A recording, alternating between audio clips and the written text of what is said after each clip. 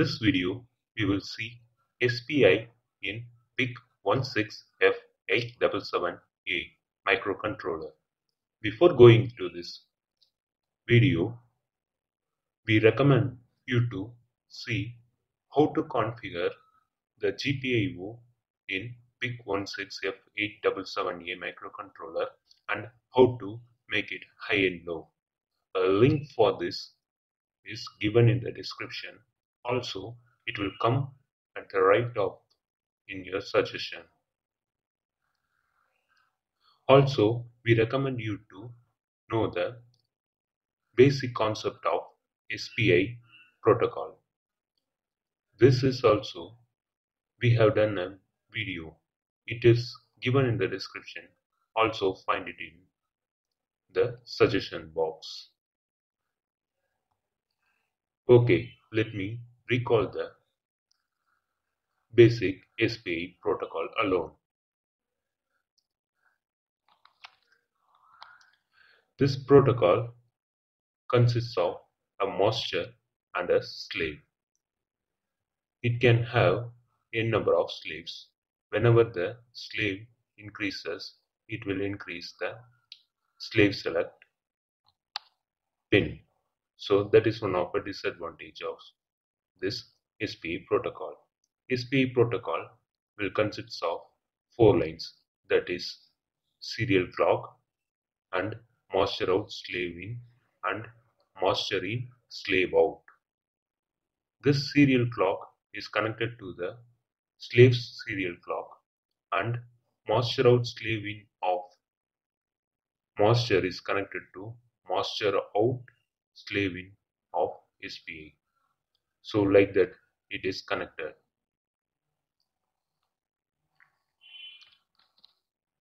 Let's go into SPI in PIC 16F 877A.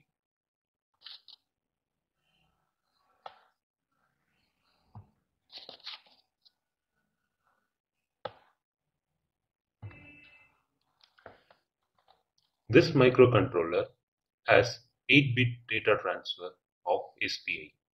It can operate on 4 modes. 4 modes of clock.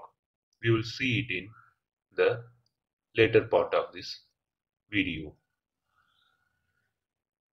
As discussed earlier, 4 pins are used for data transfer using SPI that is SDO, data out and then data in, clock, slave select. The slave select is also known as chip select. This RC5 SDO is used for data out and SDA SDA RC4. This pin is used in SDI in PIC 16F877A. This is the serial clock and this is the slave select. We can use any of the pin for the slave select in this IC. This is the de default one. We will be using RB0 in our tutorial or example.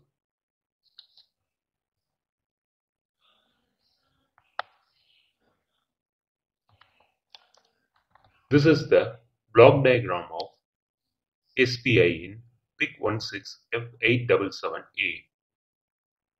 Here we can see the clock can be selected from the timer. That's why the timer configuration is given here. So clock will come this end. This is slave select. This is data out and this is data in. This will go to this SSPSR register. This register is not accessible in our program.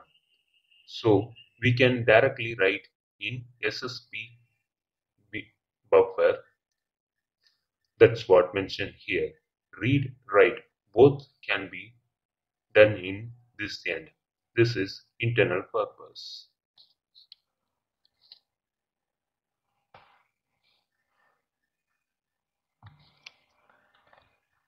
To configure and control SPI in PIC16F877A. These registers are used.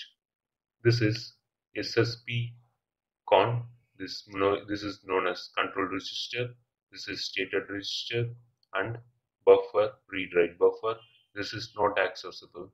SSPSR which I explained here before. We will take master mode waveform alone. I recommend you to go through the datasheet and understand other waveforms. I will explain this in this video.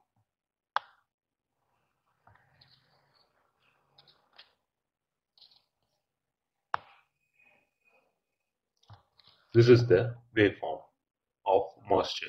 Here, write to buffer is done here this end. This shows anyone from this two, sorry, anyone from this four can take taken. So this is one kind of configuration of serial clock based on CKP and CKE. We will see in the program. This is data. Data will be like this when CKE is 1. CK is 0, data will be like this. Here you can find the difference. Other will be similar. This is data in. This is how input sample works when SMP is 0. This is SMP 0.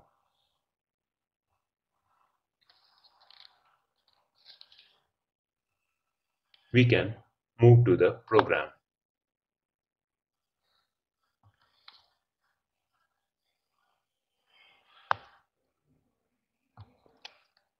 This program is compiled with MPLAB XC8 IDE that is compiler XC8 compiler. So I am using this include here the main function. This is the required direction registers. This is for this is used to configure the directions. That is either input or output. 0 means output and 1 means input. Here we are configuring the all the five sorry all the four required pins that is clock and data out data in and slave select. Those directions are configured here.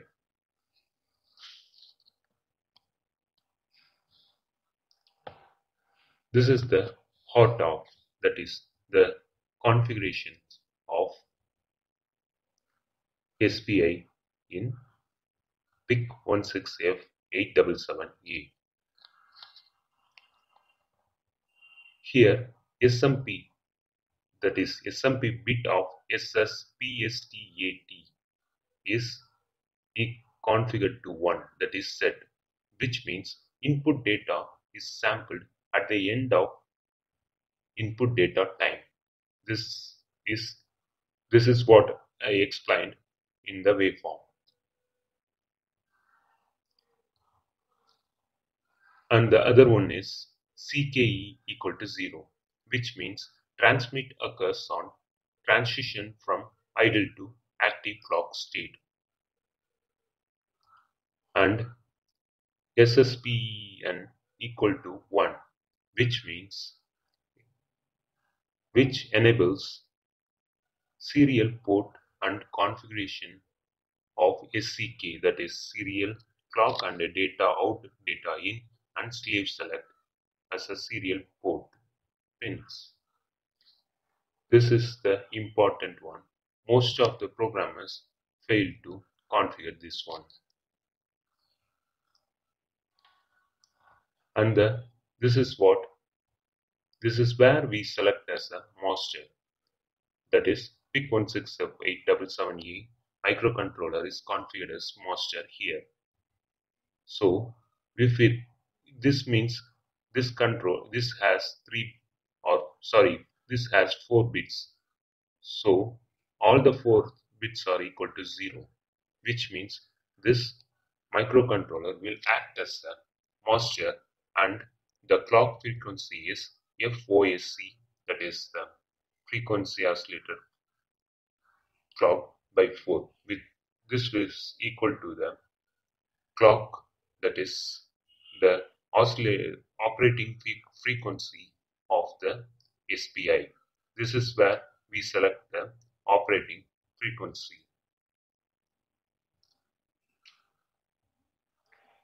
This is another configuration bit. This is the second bit of 4 level of SPI that is CKP. Idle state for clock is the low level. So the idle state of clock is will be low. That is what we are selecting here. Now you can understand the need of these two bits. So this is how we are controlling the polarity of the serial clock so that these two bits are varied 0, 0, 0, 1 and 1 0 and 1 1 so that we can able to get the four polarities and four modes of SPI operation in PIC16F877A. Let's move on to the working operation. Here we are configuring this to local variables and then the loop for ever.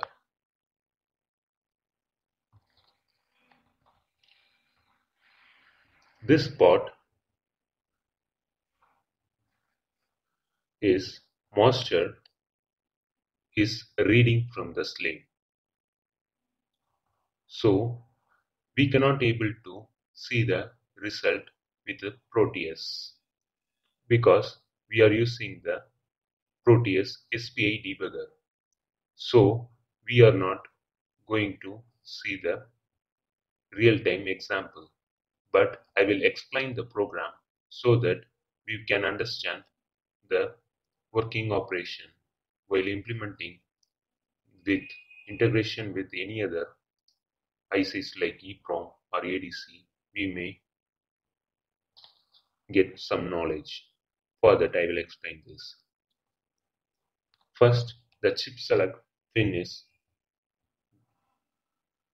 low and then a small delay is given and then this bit will be set when the data is received. This is one of them bit which is used to get the information of the data is received in SSP buf. So when this bit is set, master received the data. So master received data will be available in SSP buf. We are storing it eh? To A. The data transfer will start at this end. This is the start. When chip select bit is low, that time itself the master will start to read. For that we are giving the delay and then the bit is set, copy to local, again stop the operation.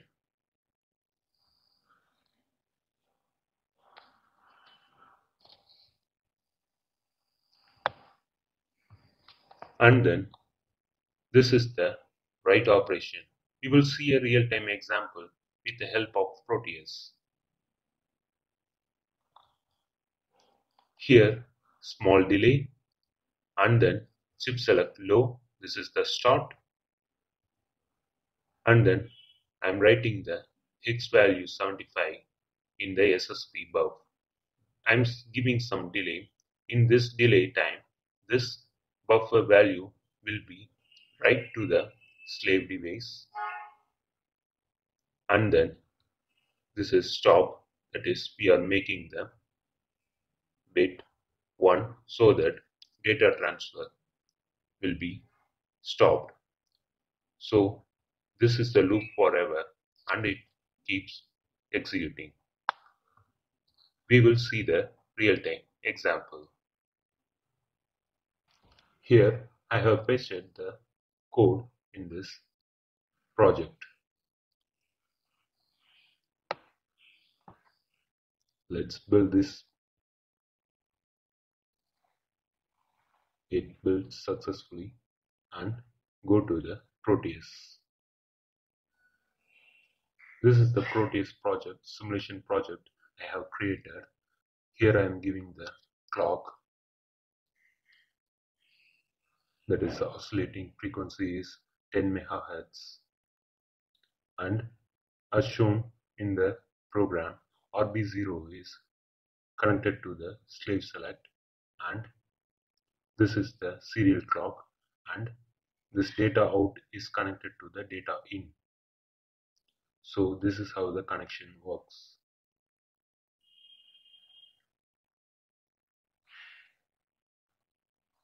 Here you can see this is the operating clock frequency of this SPI.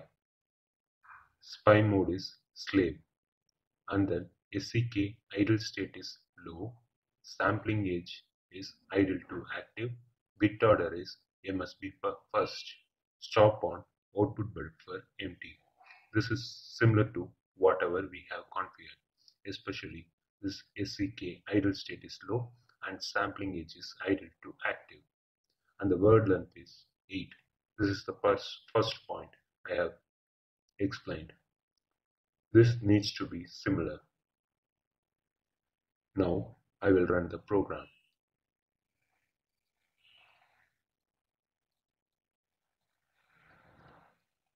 We don't need to see this one as we don't connected any wire to that. Here you can see the 75. 75 is the value what we have given in the program. We can see here. So 75 is coming here so our configuration is correct and it is working fine we can verify it with a calculator the, the bit order is also given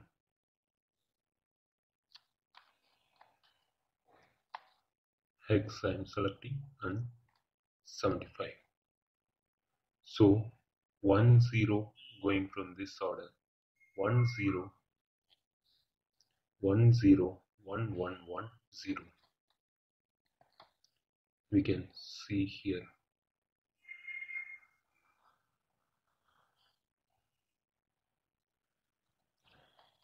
So our configuration is fine and it is working this is the simple example of SPI with PIC16F877A and it is verified with Proteus simulation. In the upcoming tutorial, we will interface any one of the peripheral device that is EEPROM or any ADC with this PIC16F877A through SPI. This is the end of this tutorial. Hope you like this video. If you like it, don't forget to press the like button below this video and then don't forget to subscribe to this channel. Thanks for watching.